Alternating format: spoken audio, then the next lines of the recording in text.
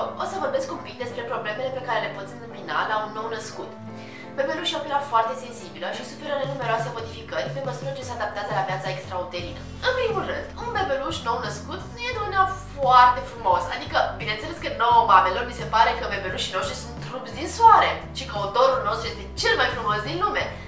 Doar că e bine să nu-i trebuie totdeauna pe ceilalți ce părere au.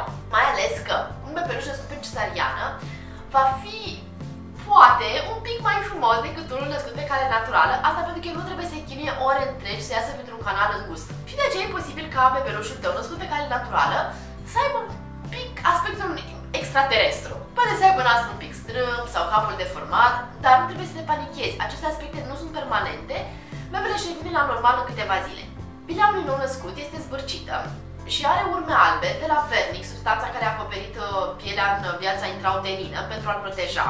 Și aceste urme nu se duc întotdeauna de la prima băiță. Nu insista, ele se vor duce treptat, nu încerca să freci cu un burete pentru că nu faci altceva decât să-l iriți.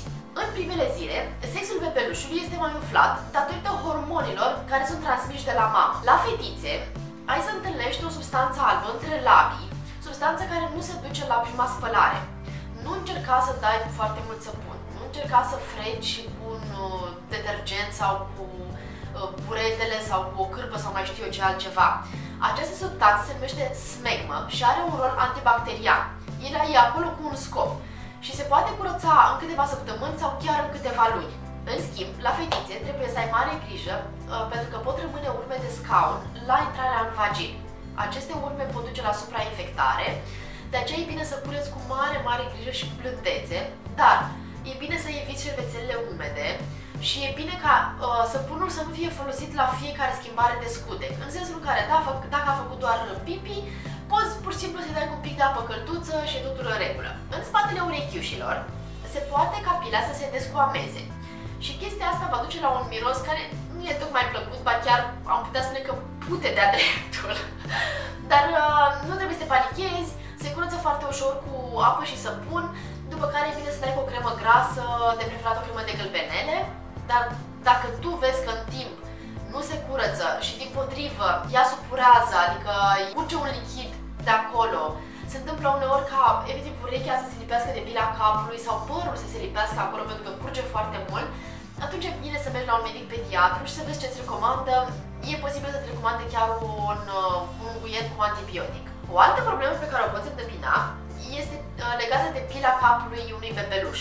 Ei transpiră foarte tare, de nu e bine să le pui căciulițe în casă decât dacă este foarte frig. O altă problemă pe care o poți întâmpina este cea legată de pila capului bebeluș. Ei transpiră foarte tare, de aceea nu e bine să le pui căciulițe în casă dacă este cald. Și ai să vezi că de multe ori un bebeluș transpiră chiar atunci când papă, poate transpira pe frunte sau aici la mustăcioară. Atât la Matias cât și la Iris am avut uh, așa numita dermatită seboreică sau crusta de lapte, adică de pe pila capului se cojesc bucăți mari de piele, ca un fel de mătreață și care nu trece foarte ușor în sensul care trebuie neapărat să urmezi un tratament. Poți să folosești fie un șampon Dermalipur, așa cum am folosit la Iris și care a dat rezultate de minune, doar că la Matias n-a funcționat deloc, sau poți să folosești, de exemplu, un tratament de la Bioderma ABC Baby Squam, doar că este un pic mai complicat, pentru că timp de crema respectivă pe pila capului, să lași să acționeze jumătate de oră, după care să-l speli.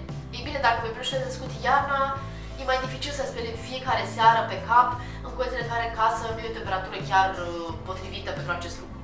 O altă problemă pe care o poți întâmpina este acnea bebelușului, adică fața lui se umple de bubițe mici cu vârful alb. Nu trebuie să le storci, nu trebuie să dai cu creme, pentru că o cremă acționează ca o peliculă care nu mai lasă pielea să respire și prin urmare bubițele respective nu se pot uh, usca. De multe ori trece de la sine, dar dacă tu vezi că această acne se agravează și apar și în alte zone ale corpului, e bine să mergi la un medic pediatru. Bebelușii, pe lângă așa zis acne, se mai pot confrunta cu miliaria, bubițe mici cu vârful alb, uh, bubițe de la transpirație sau dermatita atopică. De aceea e bine să mergi la un medic pediatru pentru că el își poate da seama exact cu ce problemă se confruntă bebelușul tău. Și Matias și Iris au o dermatită atopică, asta pentru că eu am un fond alergic care se pare că s-a transmis și la ei. Mie, de la farmacie, inițial mi s-a recomandat să uh, le dau pe față cu o cremă uh, ce conține oxid de zinc, doar că eu nu aș recomanda personal pentru că mi se pare că usucă foarte tare fața și își dă rezultate. După care am fost la medic, la medicul de familie care are și specializarea de pediatrie și mi-a recomandat să folosesc uh, de la Aven Xera Calm, care într-adevăr este bună, dar am înțeles că ea de rezultate folosită pe o perioadă foarte lungă de timp și într-adevăr mi se pare că nu se mai agravează atunci când uh, iese la frig sau când transpiră, doar că nici nu mi se pare ca fața lor să scape de acea roșeață și de finișoare acelea care se văd mai accentuat. De exemplu, la Matias am o problemă foarte mare cu o iritație în jurul gâtului, iritație care a fost inițial și, după, și în spatele urechiușelor, dar acum s-a vindecat și am rămas doar cu chestia asta pe gât, care pe militar îl stresează îngrozitor, îl văd toată ziua că se freacă așa cu mânuțele. Am încercat un miliard de variante, poate aveți voi soluții. Mămica lui Noah, că tu îmi dai mereu sfaturi, te rog din suflet, aștept-mă și de data aceasta pentru că o iau rază, n-am știu ce să mai folosesc. Acum am luat din nou o cremă cu oxid de zinc și cu vitamina E, care se pare că îi mai calmează mâncărimile, dar tot nu mi se pare să-l ajute în privința acestei iritații. Buricul poate fi iarăși o problemă dificilă pentru mămici. E un subiect pe care l-am mai abordat, dar pe care vreau din nou să-l aduc în discuție.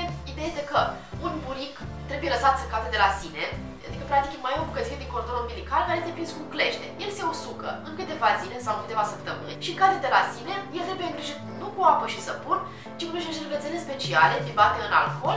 Hmm, cu ce altceva vă mai puteți confrunta? Hmm, păi icterul. Icterul care se datorează faptului că ficatul lui bebeluș este încă în curs de dezvoltare și nu poate procesa bilirubina care este în exces. În fine, ideea e că pielea bebelușului are o tentă gălbuie, mai ales în zona uh, frunții, și de asemenea albul ochiului poate căpăta o culoare gălbuie, cum e culoarea laptelui în primele zile. Icterul poate fi de mai multe tipuri. Poate fi fiziologic, care apare la 2-3 zile de la naștere și dispare de la sine în câteva săptămâni. Atât Iris cât și Matias au avut acest tip de icter. Mai poate fi icterul copilului născut prematur sau icterul laptelui matern.